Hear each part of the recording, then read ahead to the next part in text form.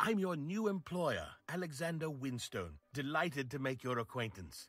Now, I expect this park to be operational very soon, and I'm giving you all the funding you need to achieve this.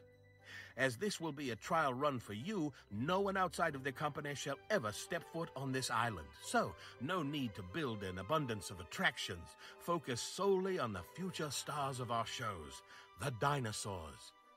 Welcome to Prehistoric Kingdom. Ha ha!